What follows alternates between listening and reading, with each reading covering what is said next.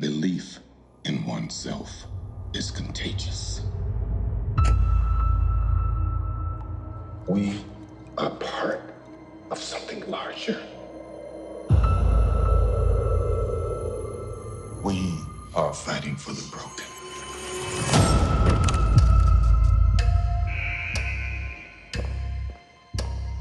My name is Dr. Ellie Staple, and I'm a psychiatrist. I specialize in those individuals who believe they are supernatural beings. I don't belong here. David Dunn, you believe you are exceptionally strong, but there are men who are as strong as you. Kevin Wendell Crumb, you believe there are two dozen souls living in that body with you. You can call me Norma. I'm so amped! Extraordinary IQ. You think you are superhuman. What if I suggested that you are mistaken? They've been lying to us all.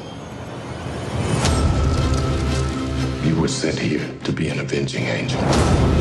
How much do you want to avenge us?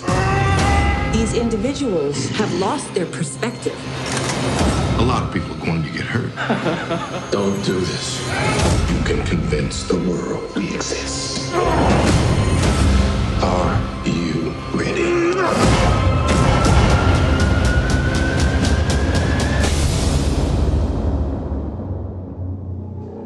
This is where they would paint you with big eyes and bubbles of confusion above your head.